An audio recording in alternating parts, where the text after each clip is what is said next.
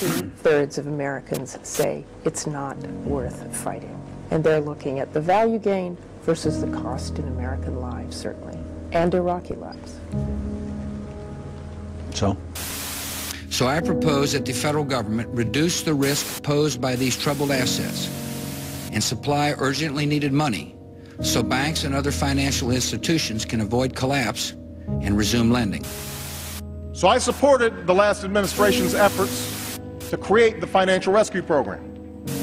I'll make our government open and transparent so that anyone can ensure that our business is the people's business. So I want to be very clear in calling upon the Egyptian authorities to refrain from any violence against peaceful protesters.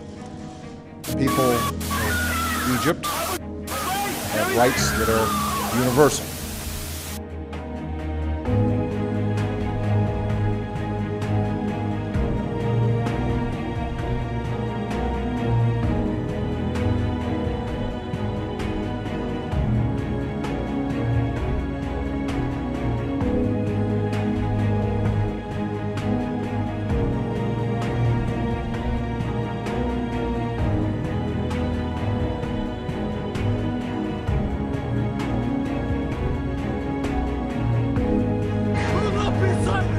You're a Christian, whether you're a Muslim, whether you're an atheist. You will demand your goddamn rights, and we will have our rights, one way or the other. We will never be you. This has been a very partisan Congress. They can't agree to do anything.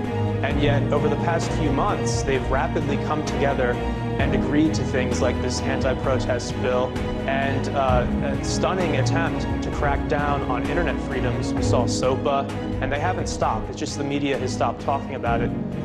They really don't know a damn thing, and I mean politicians all over the world. All countries, all, are basically corrupt. The people in Washington should know more about human behavior, the latest technologies. They tell you if you want freedom, write your congressman. Why do you have to write him? He should know all those things.